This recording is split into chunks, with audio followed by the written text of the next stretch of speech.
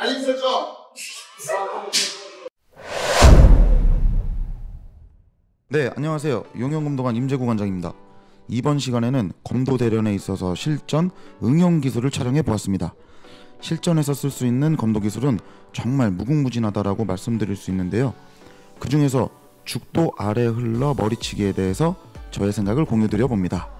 자, 죽도 아래 흘러 머리치기 어떻게 쓰는 기술인가? 일단 내 죽도를 상대방 죽도 아래로 그 흘러간다는 모션 자체가 상대의 손목을 치겠다는 의도로 시작됩니다.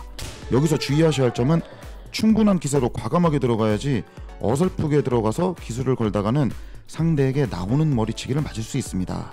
그래서 과감하게 상대 죽도 아래 칼날 부분까지 반원을 그리듯이 밑손목을 치려는 의도로 기술을 겁니다. 그러면 상대방 입장에서는 손목을 방어하기 위해 오른쪽으로 죽도가 접히게 되는데요. 그럼 처음 제 목을 겨누고 있던 상대 죽도가 옆으로 밀려서 틈이 보이겠죠?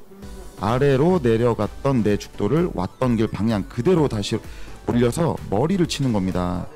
이 모든 상황과 생각과 행동이 구분되지 않고 어느 순간 기회가 왔을 때 한 동작으로 빠르게 이루어져야 합니다.